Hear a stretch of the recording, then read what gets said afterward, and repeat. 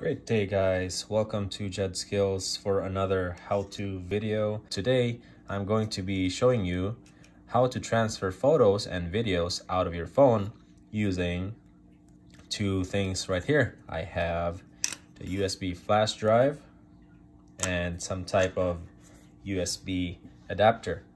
This one has the tip that goes to your phone and the female tip right here for your USB flash drive.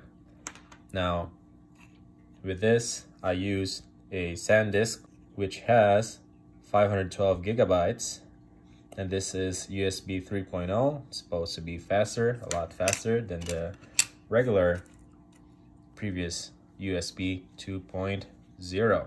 And for this process, your phone should have enough battery to do the transfer of photos and videos out of your phone. All right, First thing we need to do is plug this, these guys right here. USB flash drive, locate the Files app, which is usually right there. Or you can do app library and type in files. We're going to plug in this USB flash drive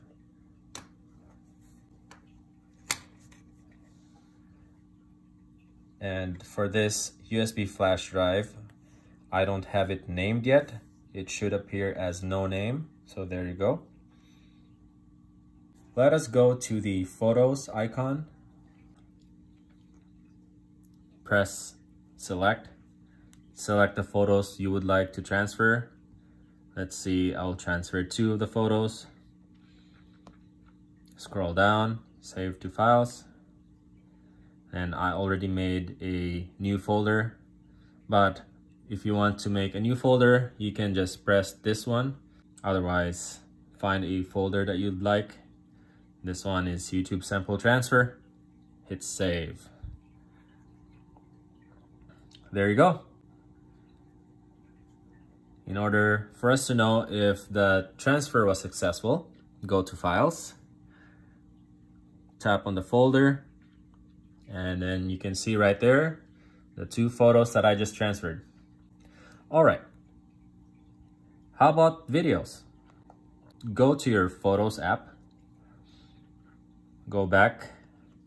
Scroll to the media types. That's how you filter out all your files or all your photos, videos. So this one's just videos. And just find a video.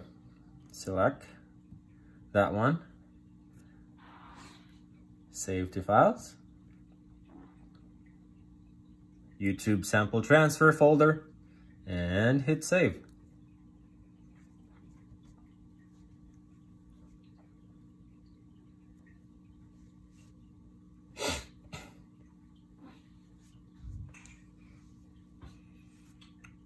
All right, let us see if it's in there.